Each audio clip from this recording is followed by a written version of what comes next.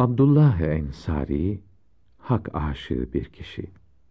Her an İslamiyete hizmet idi tek işi. Cömert ve şefkatliydi etrafındakilere.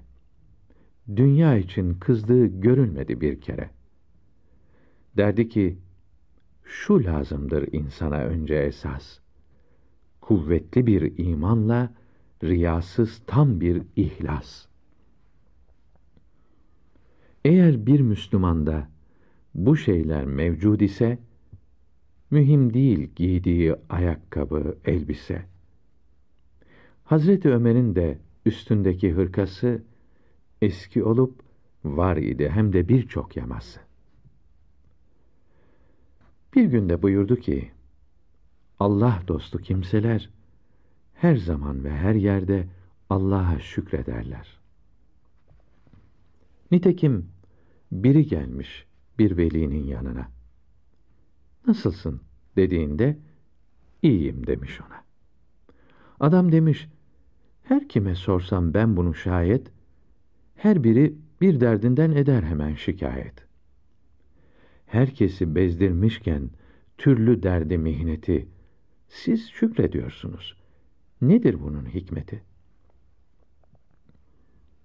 Buyurmuş ki, kardeşim, şükür elhamdülillah.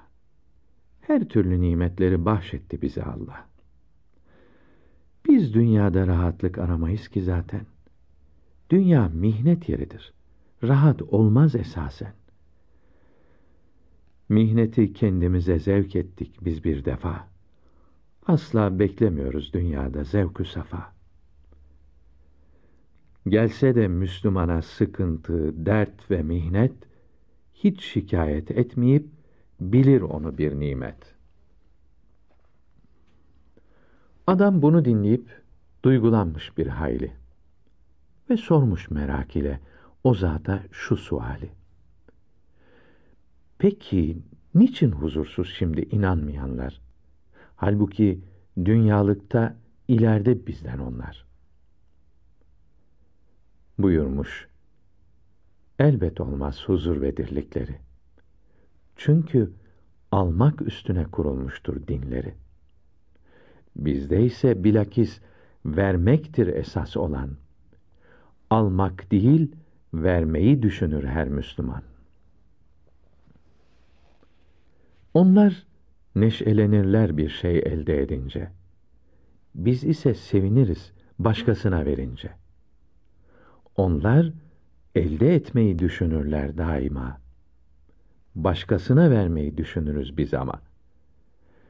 Müslüman almaktansa vermeyi karlı bilir. Çünkü bizde verenler kazanır sevap ecir. Veren el, alan elden üstündür dinimizde. Alan hakir, verense aziz olur hep bizde. Hatta bizim verecek olmasa bir şeyimiz, hiç olmazsa tebessüm güler yüz gösteririz. Alışık olduğundan Müslüman hep vermeye, ölürken ruhunu da kolay verir meleğe. Halbuki hep almaya alışmışsa bir kişi, elinden bir şey çıksa üzülür yanar içi. Nitekim ömrü bitip eceli geldiği an, onun ruhu ve canı zor çıkar vücudundan.